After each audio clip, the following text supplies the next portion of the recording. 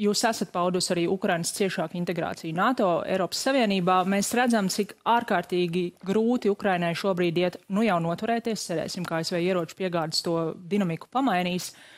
Un tomēr vienlaikus mēs redzējām par teritoriju atkarošanu, cik tas iet lēni un smagi uz priekšu.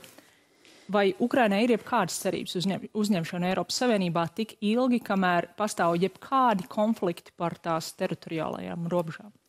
Uh, Ukrainai ne tikai ir cerības, bet Ukrainai jau ir konkrēti soļi. Uh, un, un arī pie šāda apstākļa, ko es minēju.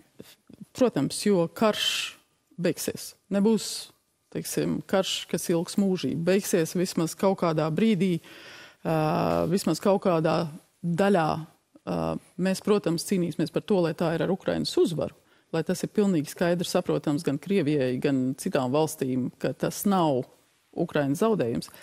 Bet neapšaubāmi, ka tas nav tikai Latvijas nostāja, ka tās ir visas Eiropas Savienības valsts, kas ir pilnīgi vienotas par to, ka jā, kad Ukrainai ir atbalsts, un tagad jau notiek praktiski, praktisks darbs ar likumdošanas salīdzināšanu, atbilstību, uh, kas ir vajadzīgs iešēji Ukrainai, kādas reformas, kādi uh, jauni likumi jāpieņem vai jāmaina, lai tā varētu iestāties Eiropas Savienībā. Faktiski tam, ko, kam mēs gājām garām cauri četru gadu garumā.